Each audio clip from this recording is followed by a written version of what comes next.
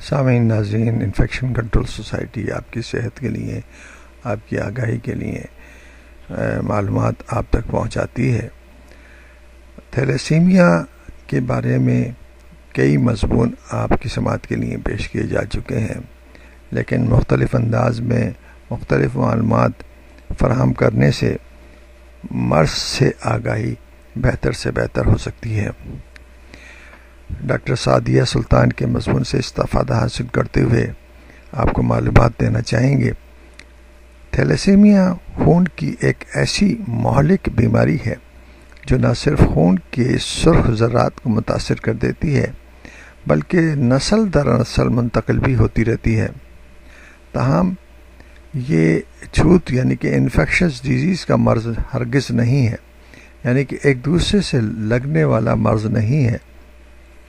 जैसा कि दूसरे अमराज होते हैं वायरल डिज़ीज़ हैं बैक्टीरियल डिज़ीज़ हैं, या फंगल डिज़ीज़ हैं, कि वो एक फर्द से दूसरे फ़र्द को लग जाते हैं। तो इस कस्म का मर्ज़ नहीं। अलबत् अगर एक बार कोई फ़र्द इस आरजे का शिकार हो जाए, इस मर्ज़ का शिकार हो जाए तो फिर ज़िंदगी भर थैलेसीमिया में मुतासर रहता है, मुबतला रहता है। आमतौर आमतौर पर थैलेसीमिया की तीन बड़ी इकसाम हैं। पहली किस्म थैलेसीमिया माइनर कहलाती है, जबकि दूसरी थैलेसीमिया इंटरमीडिएट और तीसरी थैलीसीमिया मेजर के नाम से मौसूम किया जाता है। थैलेसीमिया मेजर में ज़्यादातर सुर्ख, ज़र्रात, हड्डी के गुदे यानी कि बोन मेरो में ही मर जाते हैं। और जो सेल्स जो रेड ब्लड सेल्स खून के ज़र्रात शामिल होते हैं, वो भी मुकम्मल तौर पर तंदुरुस्त और तवाना नहीं होते। नतीजतन, जिसम में खून की शदीद कमी वाक़ हो जाती है। मुतासर बच्चे को बार बार खून लगवाने की ज़रूरत पेश आती है। इस मर्ज में मुबतला बच्चे अपनी ज़िंदगी का बेशतर हिस्सा, थैलेसीमिया सेंटर और अस्पतालों में गुजारते हैं। थैलेसीमिया मेजर में जैसा कि हमने बताया कि सेल ज़्यादातर तो बोन मेरो में ख़त्म हो जाते हैं।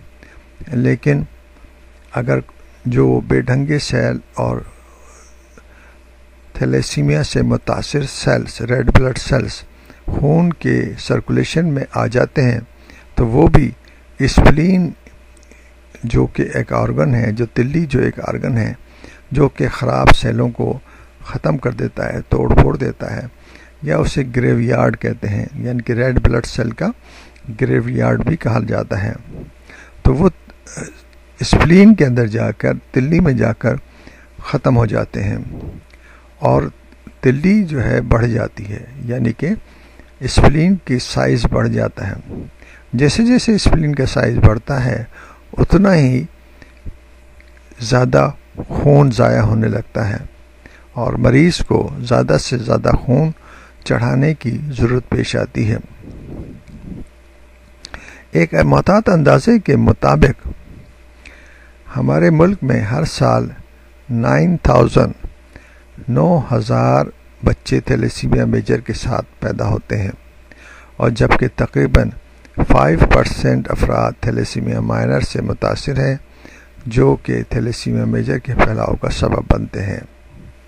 यानी कि अगर ये थैलेसीमिया माइनर के लोग या जो बच्चे बड़े होकर थैलेसीमिया माइनर की फैमिली में ही, यानी कि जो शादी हो, दोनों अगर थैलेसीमिया माइनर के हैं, दोनों, दो अफराद, मर्द और औरत थैलेसीमिया माइनर है तो थैलेसीमिया मेजर पैदा होने के चांसेस बढ़ जाते हैं।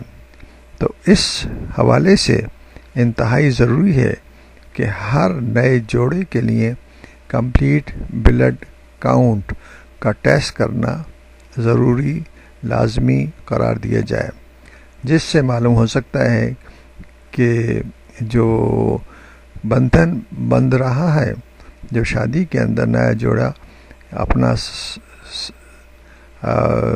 फैसला कर चुके हैं, शादी का फैसला कर चुके उसमें कोई थैलीसीमिया माइनर या इस किस्म के मसाइल तो नहीं हैं।